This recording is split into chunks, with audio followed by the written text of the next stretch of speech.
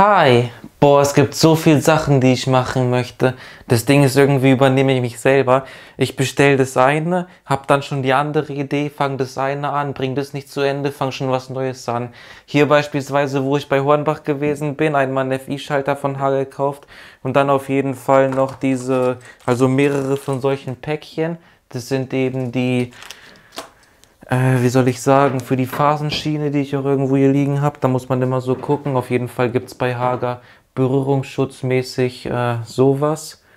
Und ja, da muss man gucken, wie das am gescheitesten passt. So rum und dann so. Oder? Warte, ich hab's gleich.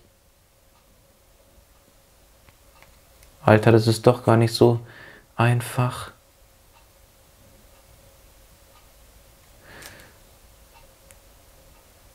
So theoretisch. Ja, perfekt. Also so geht es auf jeden Fall drauf. Und dann hat man hier einen Berührungsschutz einfach auf beiden Seiten und dann ist gut. Das zum einen, wo ich dann da gewesen bin, ich hatte mich schon im Vorfeld darum gekümmert, irgendwie solche Musterkoffer von diversen Herstellern zu bekommen. Ähm, Busch Jäger, Gira, Jung, Berker, Merten, alle möglichen angefragt. Ich weiß nicht, nur Busch Jäger hat sich telefonisch mit mir in Kontakt gesetzt, aber irgendwie ist man da auch nicht so aufeinander gekommen.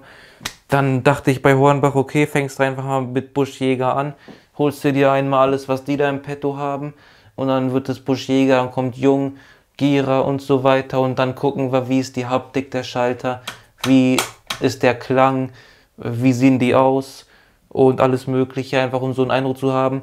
Auf die Preise gehen wir ein, was kostet dieses Modell, was dieses, um so Vergleiche zu ziehen.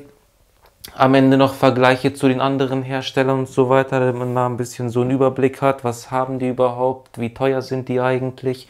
Ja, was wollen noch? Ach genau, hier habe ich noch nicht abgebaut, weil ich nämlich noch eine Drehfeldmessung mit euch machen wollte. Das hat auf das eine Video nicht mehr drauf gepasst. Das ging, glaube ich, 17 Minuten oder so, wo ich die CEE-Dose und die Campingdose gemacht habe. Am Ende habe ich das hier zwar gemacht äh, mit dem äh, Drehstrom-Messdings, ähm, aber dachte mir, okay, ist jetzt nicht so nice geworden, schneidest da einfach raus, das Video ist eh lang genug und dann machst du das einfach nochmal. Das wollte ich nochmal machen mit euch gemeinsam in einem separaten Video. Dann ist hier noch was angekommen. Da werde ich dann im nächsten Video direkt drauf kommen, äh, was hier drin ist. Das will ich mit euch zusammen testen. Und äh, jetzt äh, will ich noch die Verlosung machen bezüglich desjenigen, der die Lampen und das 5 Meter Kabel für einen Anhänger gewonnen hat. Ja, das ist jetzt am Ende. Wollte ich eigentlich am Anfang sagen, habe es aber jetzt verpeilt. Genau, was gab es noch so? Ich glaube nichts mehr, oder? Ach doch, hier habe ich auch noch gekauft. Ich möchte nämlich irgendwie noch ein Video machen über Feinsicherung.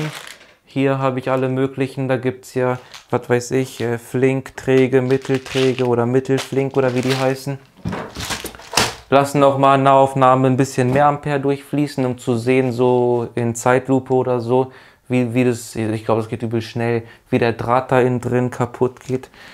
Ähm, wie, man mit, wie man mit der Kamera Slow-Mo-Aufnahmen macht, weiß ich jetzt nicht, aber ich mache dann im Bearbeitungsprogramm immer die Geschwindigkeit auf Reduzierung und dann passt das. Ja, das war's dann an der Stelle. Dann würde ich sagen, machen wir jetzt äh, mit der Verlosung am PC Random Comment Picker weiter. Und ja, bis dahin. Ey Leute, tut mir voll leid, da bis auf das Licht hier oben haben wir kein anderes. Ich werde euch gerade mal eine Insta-Story einblenden, weil es schon mal passiert ist in der Form. Hä, hey, eine Sache ist mega eigenartig. Ich wollte gerade pennen gehen, das Licht war an. Ihr wisst, ich habe einen Shelly 1L drin da mit einem Bypass da oben. Das in der Mitte ist eigentlich äh, mit den normalen Lampen geschaltet und geht doch über den Schalter an und aus. Jetzt sagt der Shelly aber er ist offline hier geht gar nichts und trotzdem bleibt da in der Mitte wahrscheinlich wegen dem Bypass noch so Rest.